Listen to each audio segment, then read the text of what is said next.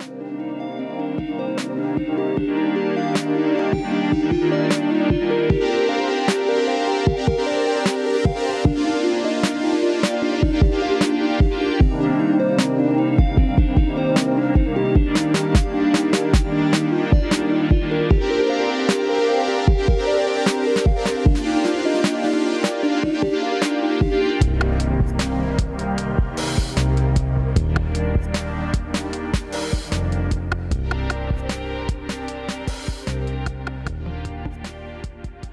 Hey everybody, this is Tom Sorce.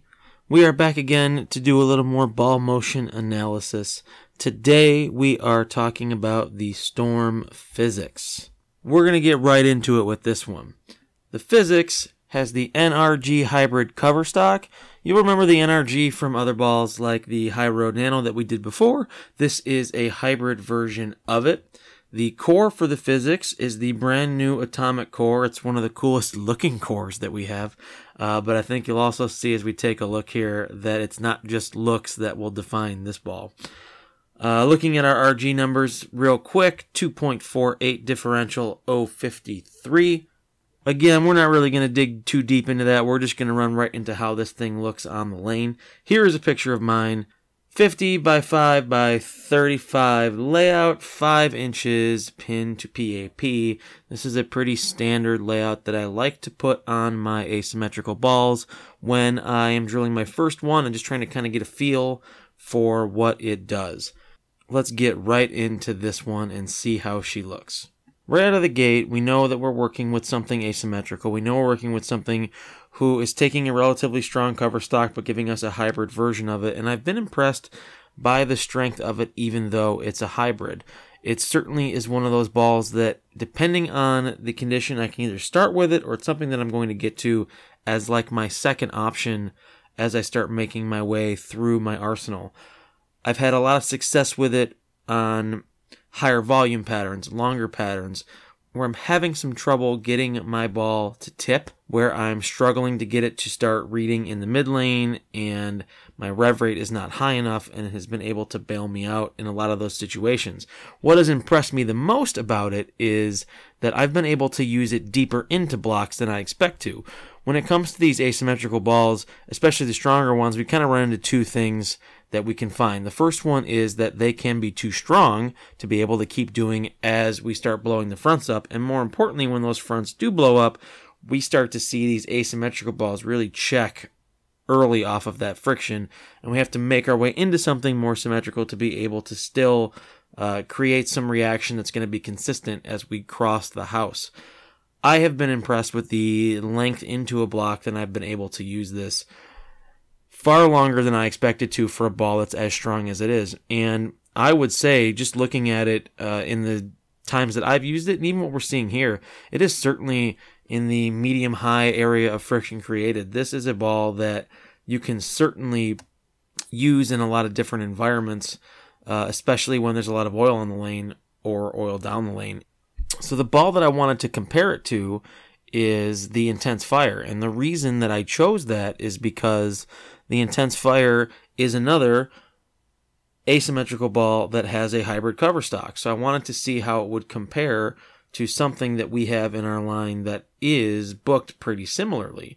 And what we see right out of the gate here is two things. First of all, we see that the intense fire is going to create a little less friction for us. It's going to be a little bit weaker than the Physix, but also surprisingly, it is a little bit smoother as well. And this is one of the things that really kind of perks me up when I look at this Physix as a complement somewhere in my arsenal. When it comes to the quicker response balls, and I would say that this Physix is probably best used as a medium to medium quick response ball, a lot of these balls that can be used in the quicker response sort of section of our arsenal, a lot of those balls are generally weaker balls. And what's interesting to me is that we have something that is both stronger from creating friction, but also quicker. And that's a rarity in a lot of situations. And I honestly expected this intense fire to be on the quicker of the two. And that was mostly because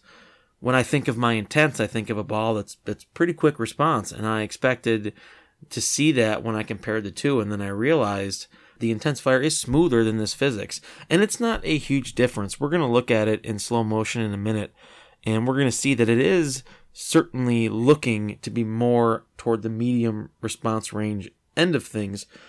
And it's not terribly different than the Physix, but it's different enough that we have a couple of different options there. And if we're looking for something that's in our medium category and that we still want to get a little bit of that extra kick from an asymmetrical ball, but this Physix is too much ball force, it is too strong, then we do have this other option to get to in the intense fire. And I think that even though by looking at what we see here, we see we're in similar parts of the lane, they're pretty close as far as the strength, pretty close as far as the response time, we can still use them off of each other in different environments. And I've had a lot of success using that intense fire in a different scenario than I tried to. When I first drilled it, I thought, yeah, I'm going to have this ball that I can use later on in blocks, and I'm going to be able to get to it when I get done with my stronger asymmetrical balls. And then I realized that I probably was able to use it better in environments where there was a little more friction and in environments where uh, it was going to be a little earlier because it was still a little smoother.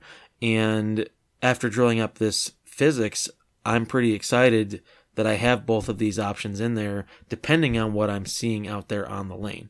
Let's take a look at them both side by side here real quick so that we can get kind of a better idea.